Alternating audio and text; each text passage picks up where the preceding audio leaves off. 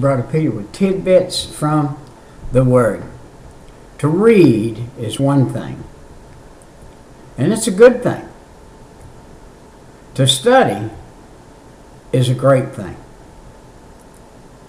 With diligence, it is a blessed thing. I read a lot. I've sat here today and read and read and read. I've studied two or three books already uh, today, small books, and looked at things. And I come across this man called Elisha. What a blessed thing to be a man in the good graces of God. I don't suspect that any one of us ever would come to the place Elijah did in his life. And uh, he did 18 exciting events. And if you've got a, a piece of paper and a pen or a pencil or a pad, and you sit down, I'm going to give you a, a synopsis of those 18 things. And you look them up. I'm going to give you the uh, verses where they are, and you look them up. He parted the waters of the Jordan. This is a man like you and me. But giving himself to God, there's a difference. There's a big difference in following God or saying you follow God. Uh, one of the dividing, dividing lines today is has people, uh, human beings, that say we love God, yet on Sunday we turn our television on football. You say, Brother Peter, would you not watch football? I wouldn't if it kept me from going to church on Sunday night. What you put before God becomes your God. And if football is going to be your God, that's what you're going to talk about. That's what you're going to know all about. You're going to know teams. You're going to know all kinds of stuff. You're going to know you're going to know more about football than you know about God. If you would get in the Bible and learn more about God, you want to see a quarterback. You want to see a real quarterback. Look at Elijah. Elisha, excuse me. Look at Elisha.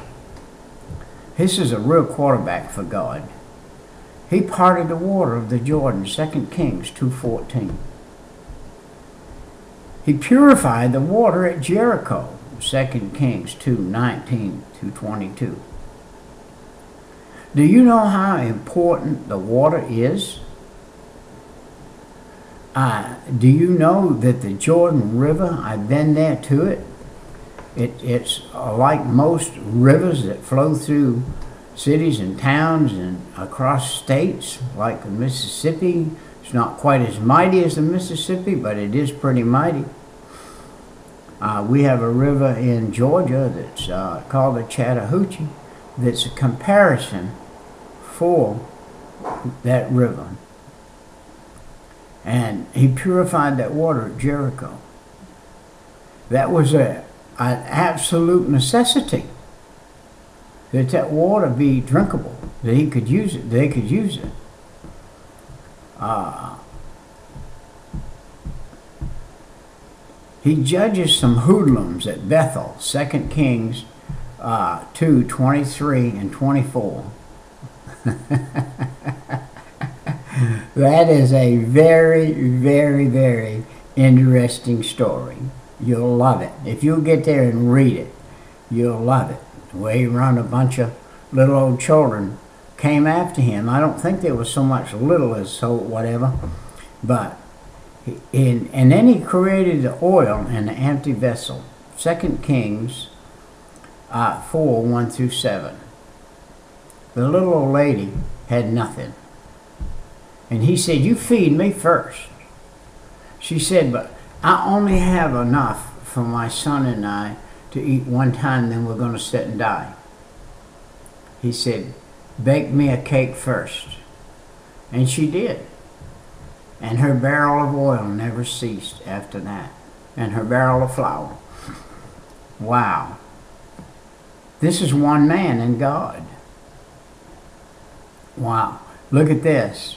He raised a dead boy of Shunem, 2 Kings 4 18 through 21, 32 through 37.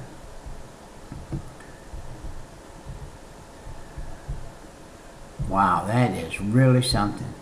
The seventh thing he did, purifying a poisonous stew at Gilgal. Somebody had thrown something in the stew. That if they had ate it, it would have killed them all. There was poison in the stew. 2 Kings 4 38 to 41. If you look at that story and you read it, this may be the last stew they had. This may be uh, we were going to eat and die. Ah, uh, and by the way, in that day, people got to the place to where they had to eat or die. And so, and then you got number eight is a feeding of a hundred men by supernatural increasing 20 loaves of bread and a sack of corn. This is a picture of Jesus feeding the thousands. And, and here's a man God has used uh, in the Old Testament to do a miracle like that in 2 Kings 4 42 through 44. And then we come to uh, predicting the judgment of leprosy upon Gehazi. 2 Kings 5 15 through 27. And uh, he, this, this, this is one powerful servant of God. I'm here to tell you. 11. Recovering a lost axe head from the Jordan. 2 Kings 6 1 through 7. Remember, he had borrowed the axe. No, he didn't borrow the axe, somebody else did. And they were swinging the axe, and the head came off it and went in the water.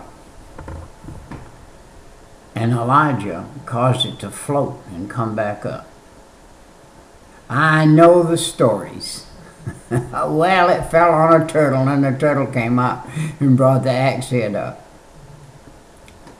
We don't know how the axe head came up and floated, but it came up and floated. The twelfth thing revealed in the secret war plans of Syria to Israel, 2 Kings 6, 8 through 12. God gave this man, Elisha, a ability to see what God wanted him to see when he wanted him to see it. And the 13th thing, he prayed that his servant would see an invisible angelic army. 2 Kings 6 13 through 17. That's probably the one we'll come back to uh, today. But right now, I've got to get through the list so that you'll have it all before time runs out. And this is a one that I really, really, really uh, like. And then uh, we see we see a 14 blinding the entire Syrian army. One man and God. One man and God. One man and God. Why can't that be today? Why can't that be today? This is Old Testament. This is before the Holy Spirit came and indwelt a man totally all the time. But because I do believe this man, Elisha, was indwelt by the Holy Spirit. And the Holy Spirit has an all seeing eye every situation that is out there comes against that comes toward a man or is out there the all-seeing eye of the holy spirit sees it. Blinding the syrian army. Wow. 15 was the deliverance of the starving citizens of samaria. He promised them deliverance and they got it too. uh, 2 Kings 6 24 and 7 through 20. predicted the death of Ben Hadad, king of Syria, and the subsequent reign of Hazael over Syria. 2 Kings 8, 7 through 15. By the way, there was not one prediction, not one thing that Elisha said or did that did not come true. It all came true. Uh, he predict, predicted three victories by Israel over Syria. 2 Kings 13, 14 through 19. Even though they would have victory over Syria, Syria wouldn't quit. They'd get victory, Syria wouldn't quit. They'd get victory, Syria wouldn't quit. It was the ISIS of the Old Testament, if you please. They just kept coming. And then uh, 18, raising a dead man years after Elisha himself had died. 2 Kings 13, 20 through 21. This is a, uh, a historical run through, real quick, of the things that Elisha did. And uh, in Second Kings. Now, God used different people for different things. He used Elisha like this. He used Moses with a rod, just a rod in his hand, a wooden stick rod. It was Aaron's rod, and it was a priestly rod. It wasn't just any rod. It was a rod used in the, the temple. It was a rod used by Aaron. He used David's sling in 1 Samuel to kill Goliath. Uh, David has such a shot with a sling that he could penetrate a, a spot. Uh, some people think it was right here at the temple. There was a little space in the armor of the man, and David hit that. Or right here in the center, there was a little spot, and David flung that rock in that spot. He used Gideon's trumpet Wow. Man, that is some story. Judges 7 uh, and 18. You want to read a good story, you read that one. Where Gideon blew that trumpet. And, and they broke those lanterns and all those people down in that valley that were there camped to come kill them. I jumped out of bed. It was uh, just before daylight, probably in the morning, 2, 3 o'clock in the morning and they said the Israelites are upon us, the Israelites are upon us, and they killed each other. wow. He used that widow's handful of meal, remember, with Elisha over there.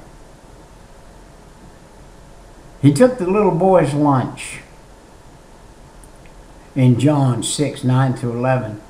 That little boy's lunch of a, some little bread and fishes and fed 5,000. the raising of the dead boy at Shunem. And, and this was something Elijah did. We've got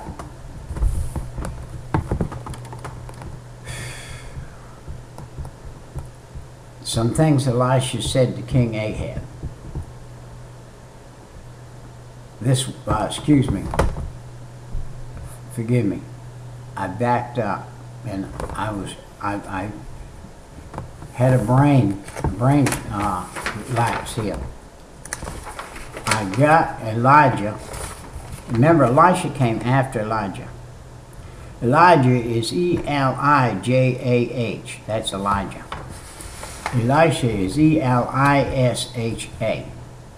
And what I just did is I had studied Elijah and I went back into Elijah's miracles instead of staying in Elisha's. And I backed up. So I need to be careful I don't do that. Uh, okay. Hazael and, Ju- and uh, Jehu were ordered by God to be performed by Elijah. But for some reason, he did not accomplish this. And again, I'm back with using Elijah. These two guys, Elisha said, when Elijah left, he said, I want you to give me the mantle that you carry. I want to be able, I want to have it.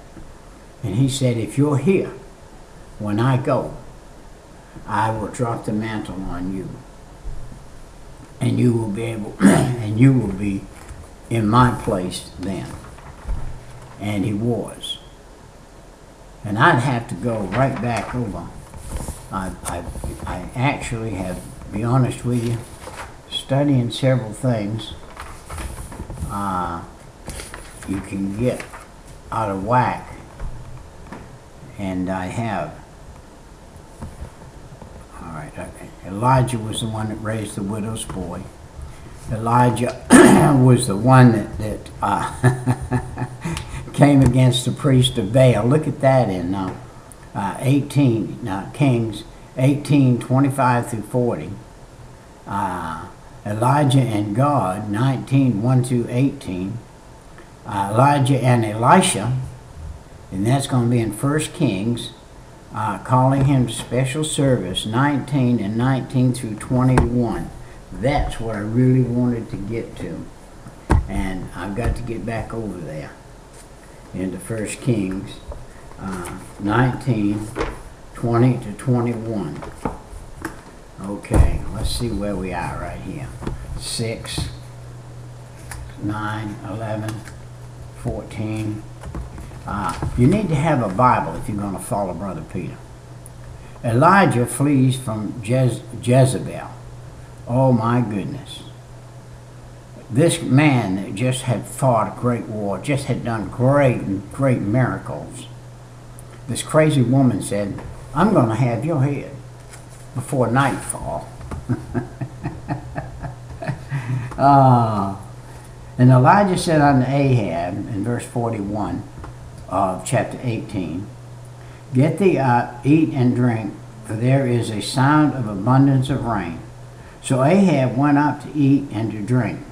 And Elijah went up to the top of Carmel, and he cast himself down upon the earth, and put his face between his knees, and said to his servant, Go up now, look toward the sea.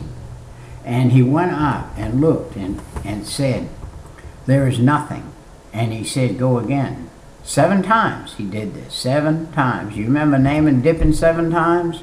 You remember that the word the, the seven is a, a biblical number uh, for completion, and eight is new beginnings.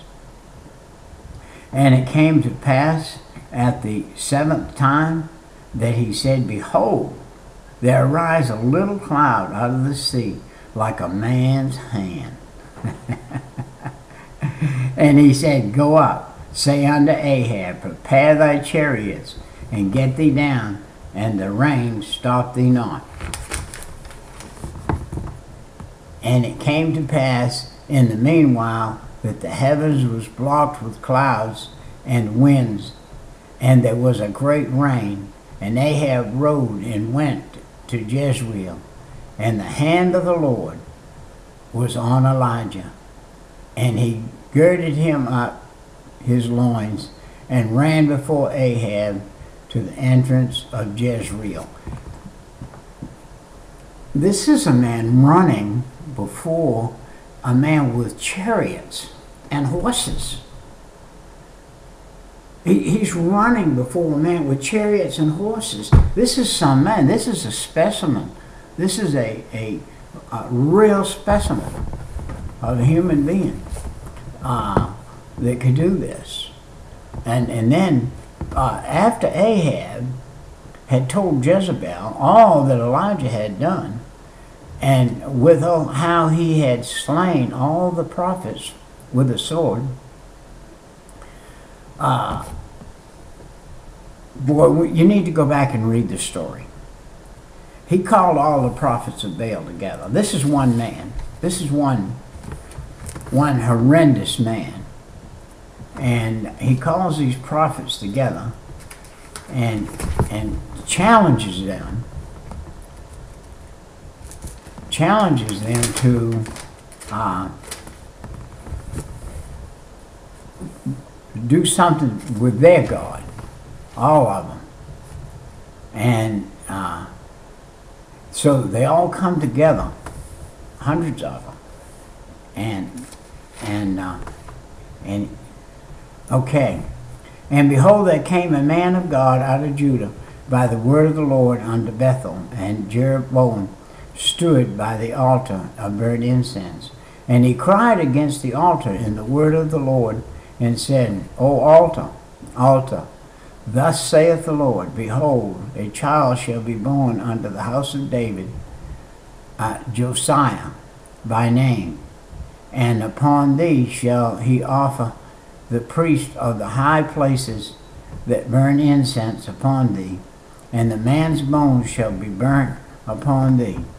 And he gave a sign the same day, saying, This is the sign which the Lord has spoken. Behold, the altar shall be rent, and the ashes that are upon it shall be poured out.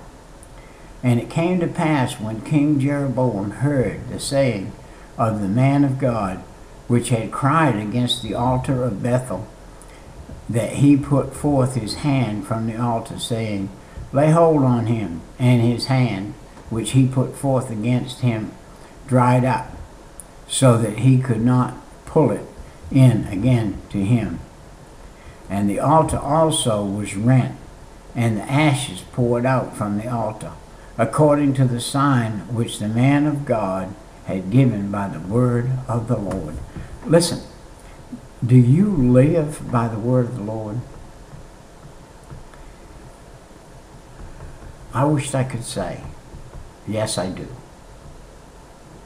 But that would be like the preacher saying the other night in church Is there one here without sin? Would you raise your hand? Big congregation. No hand was raised. The only way we're without sin is in the soul. This body was sowed in sin, and it will it will fight righteousness to the end. And it will always try to do something because of the temptation of the devil did with Eve. He's still doing it. And he stood it the same exact way. he tempted her with a sight. It looked good to eat. So she she desired it because it looked good. She looked at it. The beginning of going away from God, looking at something. The altar was also rent, and the ashes poured out from the altar uh, concerning the sign which the man of God had given the word of the Lord. And the king answered and said unto the man of God, Entreat now the face of the Lord thy God, and pray for me, that my hand may be restored to me again. And the man of God brought the Lord, besought the Lord, and the king's hand was restored to him again, and began as it was before. See, he caused the man by a statement to have a leprosy hand, and then he caused the man by a statement for his hand to be restored. That kind of power is not found today. Even though today we're in a, a different world. And we need to. I got me up. Some dust in my throat, I reckon. and then the king said unto the man of God, Come home with me and refresh thyself, and I will give thee a reward. Man of God said unto the king, If thou wilt give me half thine house, I will not go with thee. We're talking about one man with God. This prophet had a problem. He had all of this power that God gave him and yet he failed. Listen to this. Neither will I eat bread nor drink water in this place. For so was it charged me by the word of the Lord, saying, Eat no bread, nor drink water, nor turn again by the same way that thou comest. He went another way, and returned not by the way that he came to Bethel. Now there dwelt there an old prophet in Bethel, and his sons came and told him all the works that the man of God had done that day in Bethel, and the words which he had spoken unto the king. Then they told also to their father. And their father said unto them, What way went he? For his sons had seen that way, the, his sons had seen the way the man had gone, the man of God went, which came from Judah. And he said to his sons, Saddle my ass so that I can uh, uh, ride thereupon. And he rode thereupon and went after the man of God and found him, sitting under an oak tree, and said unto him, Art thou the man of God that comest from Judah? And by the way, that is an interesting point right there that he came from Judah. And he said, I am. And then he said unto him, Come home with me and eat bread. And he said, I may not return with thee, nor go in with thee, neither will I eat bread nor drink water with thee in this place. For it was said to me by the word of the Lord, listen now, when the word of the Lord says something to you, you better listen to it. You better listen to it. Ah, you say, Brother Peter, have you had God speak audibly to you? No, but I have had him give me an impression good enough to know, do not go that way. And the Lord shall uh, no bread or drink water in this place. And he said unto him, I am a prophet, also as thou art. And an angel spake unto me by the word of the Lord, saying, Bring him back with thee and, and thine house, that he may eat bread and drink water. But he lied to him. I tell you what, whether he saw, if he saw an angel, it wasn't the angel of the Lord God of heaven. Uh, the devil has angels. And he could appear, the guy, but the guy lied to him here. And so he went back with him and did eat bread in his house and drank. Now we see the judgment coming on the prophet. And it came to pass in verse 20, as they sat at the table, that the word of the Lord came unto the prophet that brought him back. And he cried unto the man of God that came from Judah, saying, Thus saith the Lord, for as much as thou host dis- disobey, hast disobeyed the mouth of the Lord, and hast not kept the commandment which the Lord thy God commanded thee, but comest back and hast eaten bread and drunk water in the place of which the Lord did say to thee, Eat no bread and drink no water, thou uh, carcass shall not come unto the sepulchre of thy fathers. In that day, the, the most important thing in the finality of the life of a man was that his bones would be placed with his father's bones and his mother's bones and his brother's bones and his grandmother's and grandfather's bones. All their bones would be placed in the same sepulchre. That was the most important thing to those folks in that day. And it came to pass that after he had eaten the bread and after he had drunk, that he saddled for him the ass to wit for the prophet whom had brought him back, brought back. And when he was gone, a lion met him by the way and slew him, and his carcass was cast in the way, and the ass stood by it, and the lion also stood by the carcass. And behold, men passed by and saw the carcass cast in the way, and the lion standing by the carcass. And they came and told it to the city where the old prophet dwelt. And when the prophet that brought him back from the way heard thereof, he said, It is the man of God, who was disobedient unto the word of the Lord, Therefore the Lord hath delivered him unto the lion, which hath torn him and slain him, according to the word of the Lord which he spake unto him. And he spake to his son, saying, Saddle me an ass, and thy saddle they saddle him. And he went and found the carcass, and cast in the way, and the ass and the lion standing by the carcass. And the lion had not eaten the carcass, nor torn the ass. And the prophet took up the carcass of the man of God, laid it upon his ass, and brought it back. And the old prophet came to the city to mourn and to bury him. And he laid his carcass in his own grave, and they mourned over him, saying, Alas, my brother. And it came to pass after he had buried him, that he spake to his son, saying, When I am dead, then bury me in the sepulchre wherein the man of God is buried. Lay my bones beside his bones. For the saying which he cried by the word of the Lord against the altar of Bethel, and against all the houses of the high places which are in the city of Samaria, shall surely come to pass.